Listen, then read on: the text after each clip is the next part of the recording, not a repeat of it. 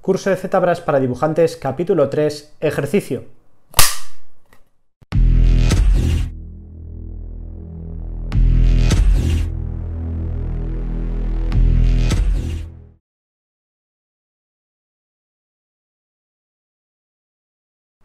Hey, hola artistas, ¿qué tal? Bien, pues en este capítulo hemos visto mogollón de cosas interesantes y todas relacionadas con cómo pintar un personaje, cómo colorear un proyecto, siempre con la técnica del polypaint, es decir, recordemos que siempre depende de la cantidad de resolución de polígonos que tenemos en nuestro objeto, entonces como ejercicio os propongo sencillamente, sin más, exactamente lo mismo que he hecho yo durante el capítulo, coger el resultado del capítulo 2, el resultado de ese ejercicio en el cual yo os proponía realizar una escultura de un personaje humano o humano humanoide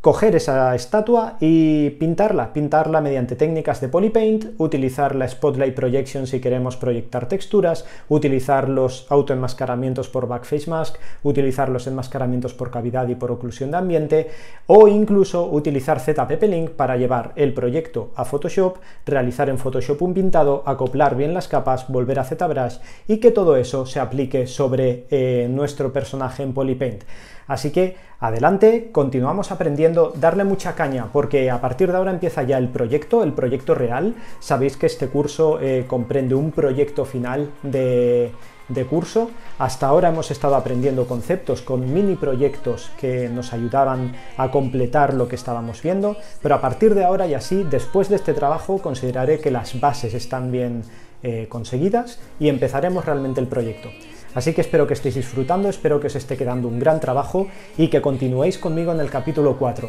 Muchas gracias artistas, seguimos aprendiendo.